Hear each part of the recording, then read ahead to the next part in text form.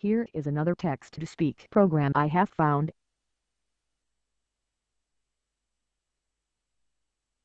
Here is another text-to-speak program I have found. Here is another text-to-speak program I have found. Here is another text-to-speak program I have found.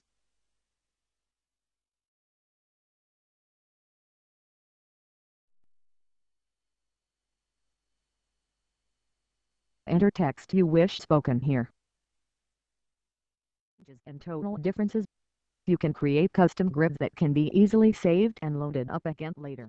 Used to control which part of the sound is going to loop as well as the frequency of it. The number of sounds is limited to 8 and may cycle, according to the user's settings, until the box is deselected. The control panel can be called up anytime to change the settings of what is happening. There is a sampling option which records Part of the sound is going to loop as well as the frequency of it. The number of sounds is limited to 8, and may cycle, according